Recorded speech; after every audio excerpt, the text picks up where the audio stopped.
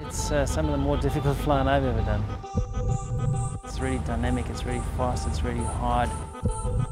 I think the most difficult thing is pretty much everything. Spectacular, modern, best. Cool, calm, confident. If Glen Dell is going to be a major force in the Red Bull Air Race, he will need to call upon all of these facets. And as the South African found, all the preparation in the world cannot prepare you for your first experience in the ultimate motorsport competition. Learning the course, learning to fly through the pylons, the proximity of the water. It's confidence in yourself, confidence in the aeroplane, and matching the two together to, to fit, into the, fit into the track. 352 kilometres per hour as the rookie to the tour, but a very experienced pilot. Glen Dell pulls 7.8G out of the first chicane and into the second, which is gate three, and already picks up three penalty points. Unfortunately, he is making exactly the same mistake uh, as in the first round. Uh, still not stable enough. Just checking whether he's too low to the water, and there is the disqualification. Glen uh, disqualified, flying too low, gate eight. The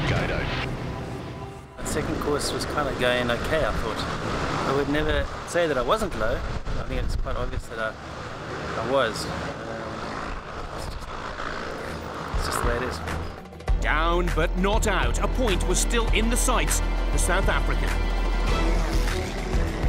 Much better control from Glen Dell, and this is what the rookie needs to demonstrate. This is what he wants to prove. This is the best we've seen from Glen Dell all week. Remember, there are four pilots gunning for the one championship point in this point one round, and we never expected Glen Dell to be in the chase. But this is a great start for the rookie. Now coming to the finish line, this is the second. Oh, and he gets a penalty. Too high on gate 11. A lapse in concentration towards the end of the challenge, stopping the clock at 118.02.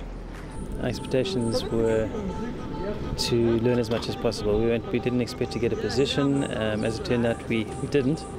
But uh, we wanted to be considered serious contenders for some time in the future, possibly in 2009. And I think that we relatively successful in achieving that. It's spectacular. It really is spectacular. Like this entire entire week, like probably one of the most spectacular weeks of my life.